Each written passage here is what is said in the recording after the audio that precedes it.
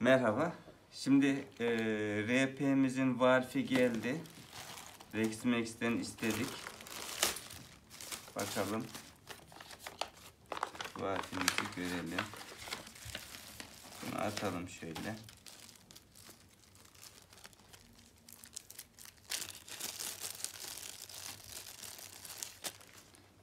Valfimiz bu. Evet söküme başlayalım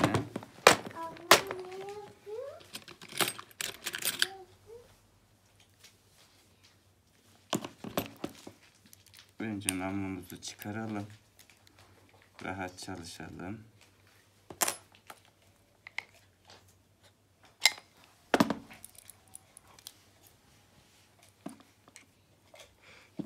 Regülatörümüzü söküyoruz.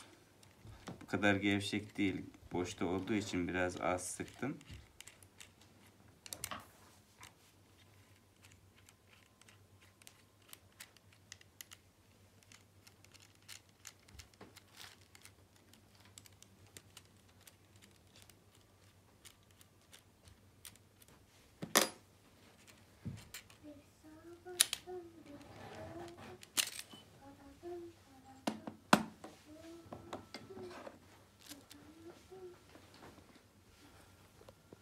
Tane parçayı düşürdük. Bunu bulacağız. Bu da eski valfimiz. Kırık. Şimdi küçük bir arama yapacağız. Düşme sesi.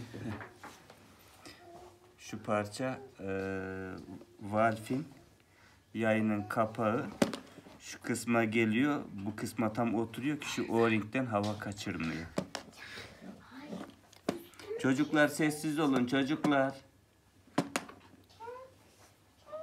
Sessiz. Valf'te bir küçük farklılıklar var.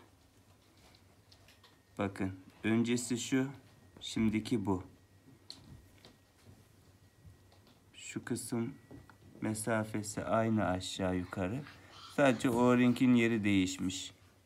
Sessiz de konuşmayın. Sessiz sesiniz daha çok çocuklar. Hop. Valfimizin yayını takıyoruz. Yeni valfimizi taktık. Şu kısmı yaya oturtuyoruz. Sonra şu delik kısmı aşağıya gelecek şekilde takıyoruz.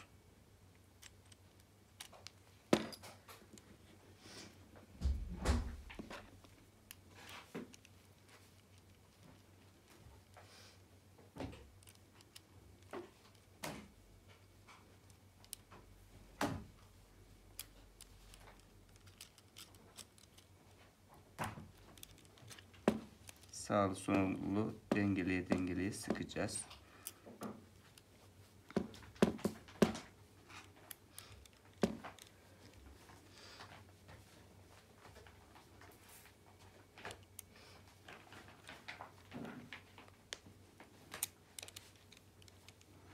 Çok aşırı sıkmıyorum ben bu vidaları.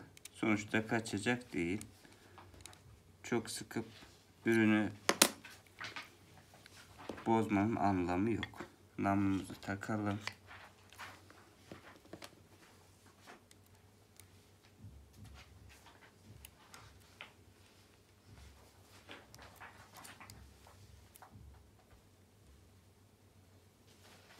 Yüze yüz oturmuş.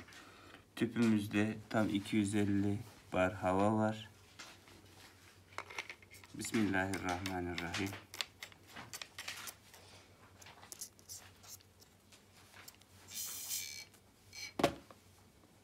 Şimdi dolumu yaptıktan sonra e, 250 bardan e, 225 230 bara düştü. Yani stokta bayağı yüklü miktarda hava bulunduruyor RP. Ve e, son olarak valfin kontrolünü sağlayalım. Bir tek el atış yapacağız. Tamam, sıkıntı yok. İşlem tamam.